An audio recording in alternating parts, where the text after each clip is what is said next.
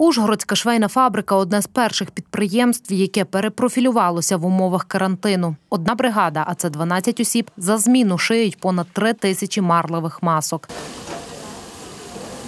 складувати марлю, щоб її потім обшивали. Е, Я нарізаю зав'язки. Ну, Ми маємо от пристосування, маємо мірки певні.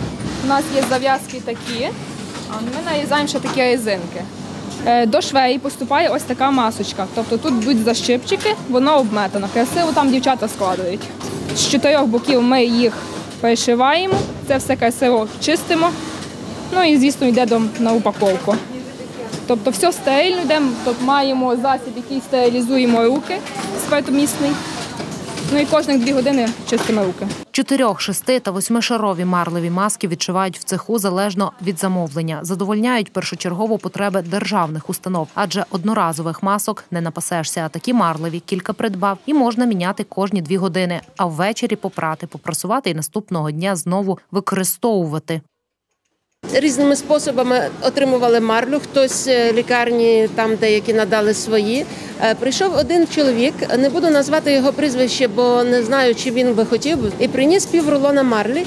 Е, І каже: Я колись мав аптеки, тепер не маю. У мене тут залишилося на складі, то ну використайте на добрі справи, що ми власне і робимо. Починали купувати марлю за 2 гривні 80 копійок за метр, потім 5,60, а останню закупили вже по 9 гривень. Тому собівартість масок коливається. Так, зараз продають гуртом 4 шарові по 7 гривень, 6 шарові по 9, 8 шарові по 10 гривень. Звісно, конкурувати по ціні з китайськими, які продають за 2 цента чи іншими підприємствами, які спеціалізуються на цьому, не можуть. Незважаючи на це, попит шалений.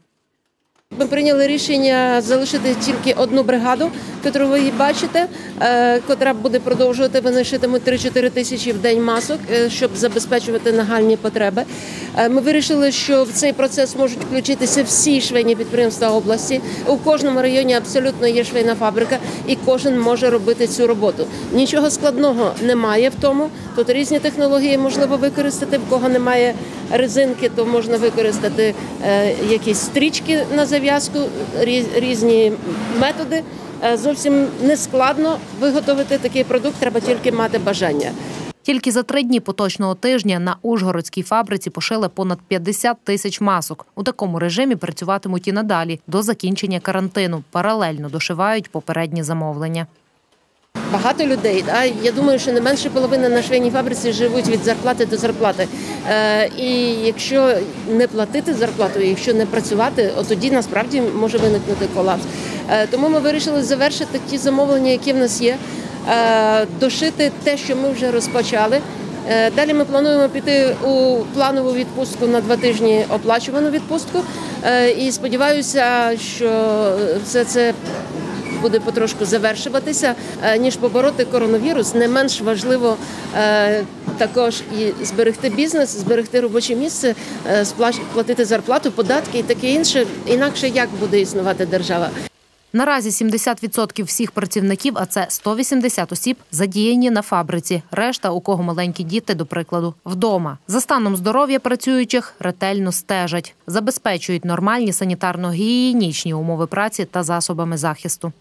Слідкуємо, щоб вони сиділи подалі одна від одної. Е, У нас щоранку е, іде вологе прибирання. Ми використовуємо всякі там е, дезінфікуючі засоби. У кожній бригаді стоять пляшечки із такими бризгалками, що ми самі поробили для дезінфікуючих засобів, ну користуючись звичайно формулою ВОЗ із спирту, перекисню водню і гліцерину. І так, таких, таких баночок у нас тут в цехах є порядка 50 штук. Е, Кожен ранок ми їх е, ми, ми ними бризгаємо машинки, ручки, все що завгодно. Е, Тобто е, ми стараємось зробити все для того, щоб уберегти людей. Людей довозять фабричним транспортом, який теж дезінфікують. Довелося навіть задіяти додатковий автобус і залучити службу таксі, каже Мирослава Каламуняк. Все це додаткові витрати. Е, І я навіть боюся це, чесно кажучи, рахувати. Бізнесу, в принципі, ніколи не було просто.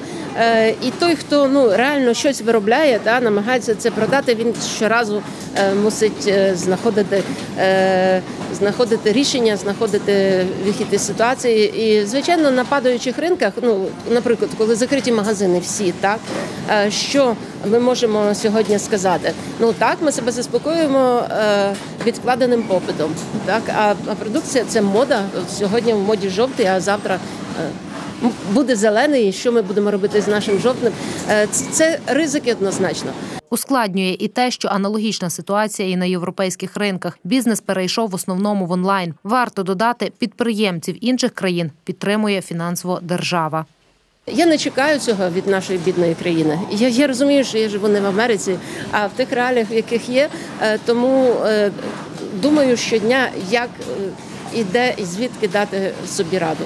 Я дуже добре розумію, що треба просто пережити цей момент. Треба зберегти спокій е, і, і бачити, дивитись в майбутнє. При тому не можна забувати про те, наскільки треба бути уважним. Е, Я не не, не втомлююся щоранку. Починається робочий день із того, що я проводжу маленькі наради в цехах і розповідаю, що треба робити. Нагадую знову і знову, знову і знову. Е, Береженого Бог береже, але я прошу Бога, щоб він нас оберіг.